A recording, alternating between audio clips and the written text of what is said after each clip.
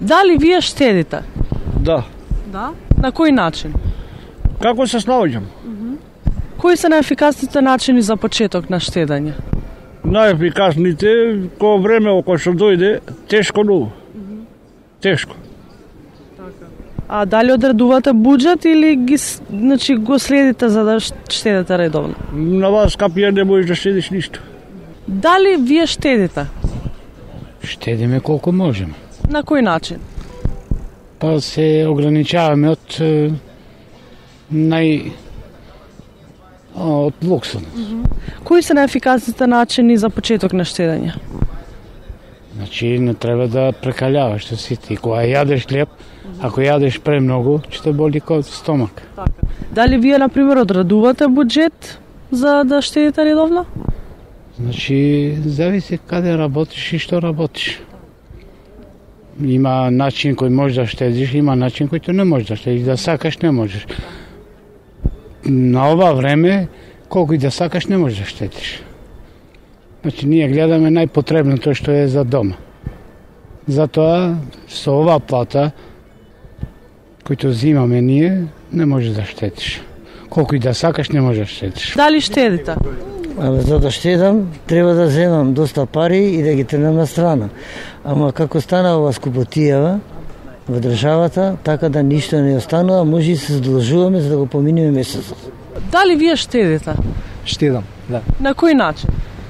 Па е што ќе остане нешто од плата и нешто вака кој се заработи. Пример, значи одредувате буџет. Да, да, да. Кои се според вас најефикасните начини за почеток на штедење?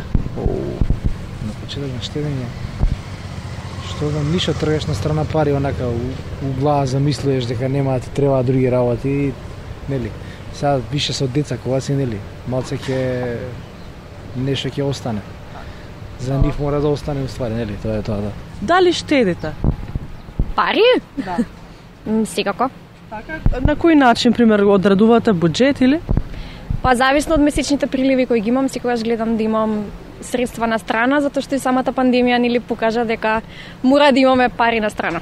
Дали со нашите плати може да се штеди? Па зависи. Сега имаме плати на пратеници, имаме плати на обичен граѓанин. Дали штедите? Уз денешно време не, ама порано сум штедел. Дали мислите дека со нашите плати може да се штеди? Не. Не, никако. Дори наопаку, значи влегуваат во минус, има кредит народот. Дали штедите? Да, да, да. На кој начин? Па во све. Дали одредувате буџет на страна или како? Не, бу, и буџет не стасува и за буџет. Не стасува. Дали мислите дека со вашите пензии може да ставите пари на страна? Не, не, не. А кои се пример вашите најефикасни методи за почеток на штедење? Како би заштедиле? Па кога, кога, кога би имала поголема пензија и ќе заштедам, да. А вака што? Дали никогаш сте штедете, сте штеделе и дали сте штедите? Па во принцип, штедењето ми доаѓа така некако принудно. Мора да води сметка човек колку троши и што троши, особено сега.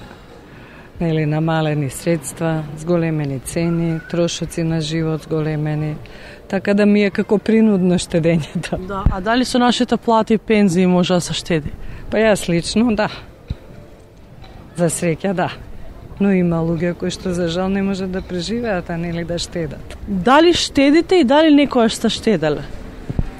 Нормално да штедам. Секогаш. Дали, на кој начин штедите? Пример, дали имате некоја тактика или? Па тактика е нормално да има кога се размислува што и како, тоа е тактика.